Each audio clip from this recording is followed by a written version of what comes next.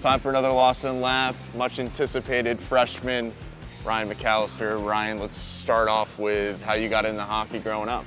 Yeah, I mean, my parents pretty much put me in hockey when I was, you know, three or four years old, and yeah, it pretty much started from there. I think I was pushing around with one leg on the ice, but you know, we're, we're here today, so I'm happy they got me into it.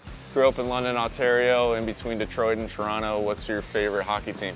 Uh, definitely going to say the, the Toronto Maple Leafs. You know, a couple big pickups in the, the recent weeks with O'Reilly and uh, you know just McCabe the other day. So they're uh, they're definitely going to make a push this year. So I'm excited. You think it's this year? This is the year? Uh, I mean, they played Tampa in the first round. It's shaping up to look like so. You know, I'm, I'm not super confident, but you know, I hope they make it past the first round. Who's somebody you looked up to growing up playing? Uh, I'll say I look up to you know Patrick Kane.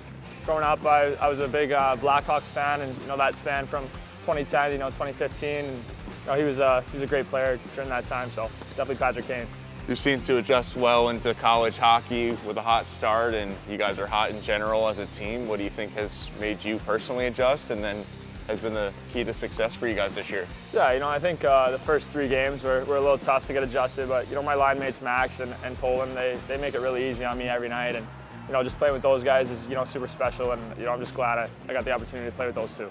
What's it like to play in the NCHC, the best college hockey conference? Yeah, for sure. I mean, this conference is uh, you know the toughest in, in, college hockey, and you know every night is, is not going to be easy, and you're playing against teams and, and you know D-men who are who are big and strong, and you know it's it's tough, but you know it's it's really fun for you know the development.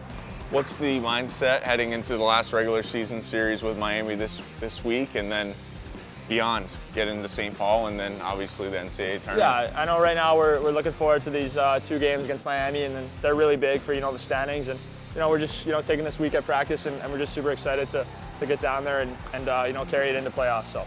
Ryan, thanks for taking the Lawson Lap with us. You can catch Ryan and the Broncos down in Miami as they will take on the Red Hawks Friday and Saturday on NCHC TV. We'll talk to you next week.